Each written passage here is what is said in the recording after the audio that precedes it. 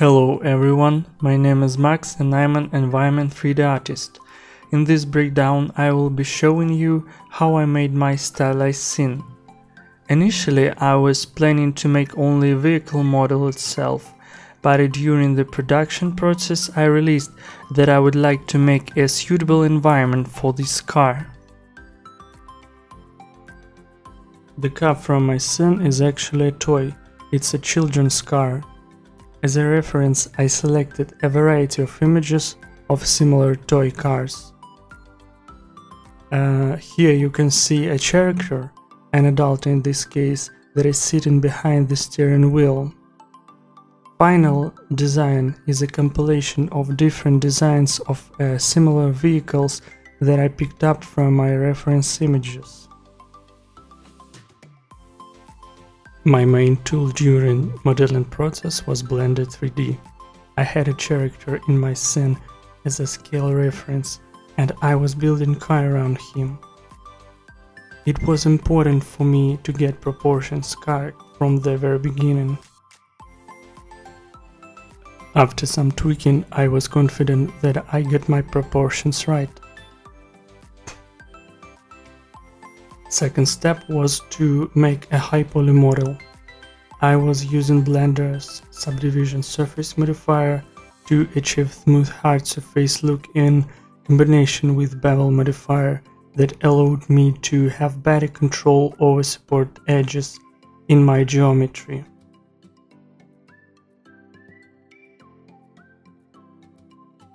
In order to add thickness to the vehicle body, I leveraged Blender's Solidify modifier.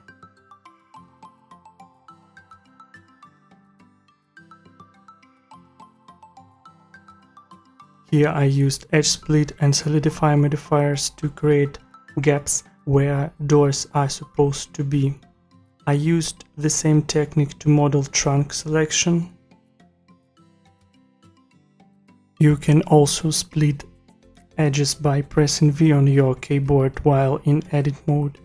When you press V, edges that you would like to split should be already selected. Initially I made the sides of the car pretty much flat. That shape wasn't suitable for the stylized look that I was after. At the end I made them more round and it immediately felt right. I made the back of the car round as well to give it this retro look and I made hood uh, a little smaller. All those small tweaks and changes made car more round and cute. As I was done with the car body, I added few details such as review mirrors um, headlights, grill, steering wheel, bumpers, and so on. In order to create tire surface, I decided to use ZBrush. After importing my base geometry, I applied dynamic subdiv and dynameshed my model to get even geometry to work with.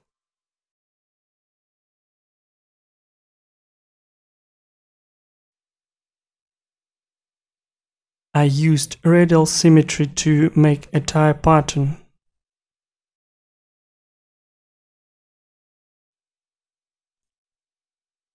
Like this for example.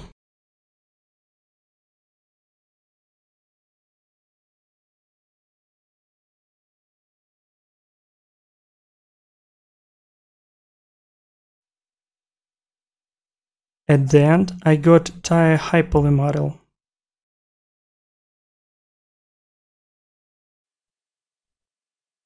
Some parts of the model had mirror modifier active during the unwrapping process.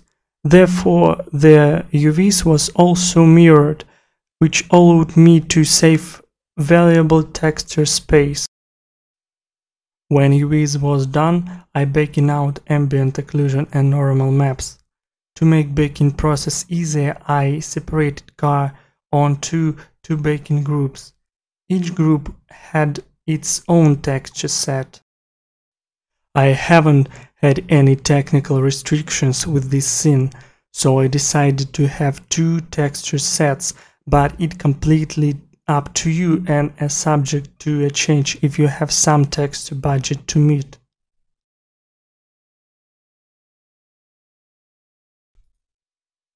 Now it's time to talk about texturing. I decided to texture my model with Substance Painter. To begin with, I made base color layer and an additional layer with a different color that I'm going to mix with base layer with the help of grunge mask.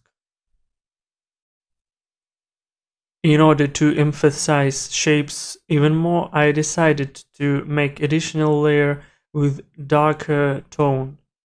I added a mask to this layer and a fill layer of this mask. After that, I added ambient occlusion map to it. I can adjust intensity of this layer with levels. I also added some additional color with curvature map to introduce some color variation. Important effect that I added on top of everything is a baked lighting stylized layer. With this layer we can bake highlights from the light sources that are present in Substance Painter scene right onto a texture. These allow us to get interesting gradients and highlights that can contribute to the stylized look. The same filter was used for metal parts. As I said at the very beginning, my initial plan was to make just a car model and render it on a plain background. But as I was setting up light to render my car model inside Marmoset toolbag, I got this idea uh, that it will be very nice to put my car in some kind of beach environment. This was the moment when I decided to give my model some context. I wanted to make scene that will reflect feeling of holiday at the beach overall relaxed vibe that I got uh, when I was looking at this car. After some thoughts, process and research, I had an idea how my final scene should look. I listed out props that I need to make and gathered images from the internet to use them as references during the modeling and texturing stages. To model beach props as before, I was modeling with subdivision surface modifier, but for some details I used floating geometry. Here for example, and here. I decided not to make those props as exaggerated as a car, but I made sure that their silhouettes are slightly overblow. Portable fridge required some additional attention. I ran physical simulation to put ice cubes in place. Later I baked out those cubes onto a plane. I played this plane inside the fridge.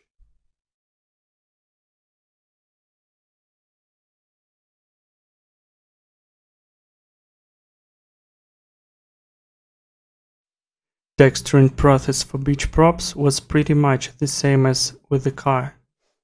I mixed basic colors with additional colors using ambient occlusion as a mask.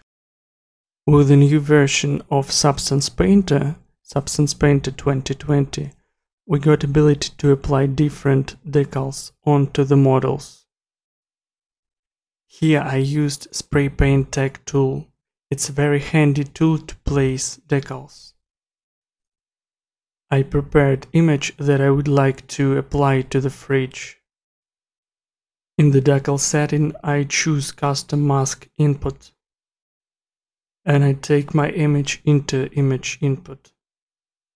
Uh, this tool allow me to control color of the image, amount of paint dripping and splattering among other parameters.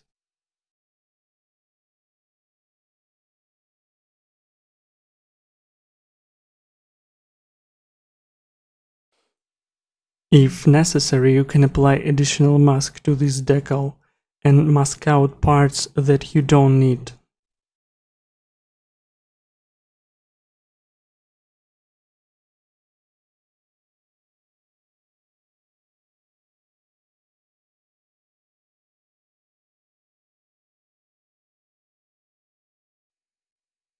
Now, when all props are ready, we can switch our attention to lighting and rendering.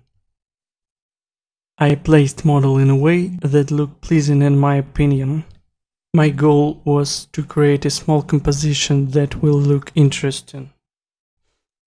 I choose to use sand texture as a base for my diorama to support beach vibe that I was going for. I downloaded sand material from Substance Share. In order to get wavy sand pattern, I used Heightmap that was coming with this material. I activated displacement parameter in the sand material and placed displacement texture into displacement texture slot. I wanted my diorama to have circular shape. I painted a circular shaped mask and placed it in the transparency slot.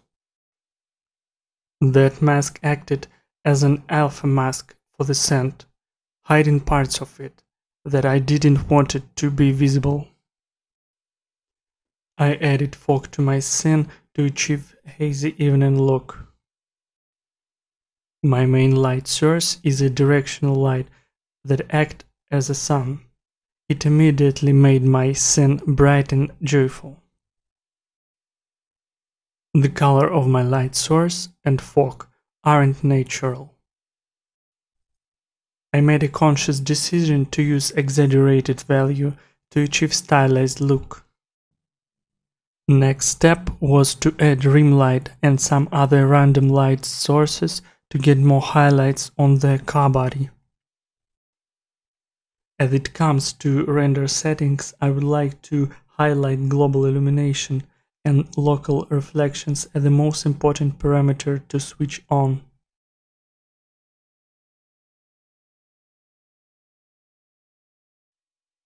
This is it, that was a short breakdown of my scene. Thank you for watching this video. I would like to say thank you to Stylized Station for the opportunity to tell you about my work. If you would like to see more of my stuff, you can visit my station page. Have a nice day, goodbye.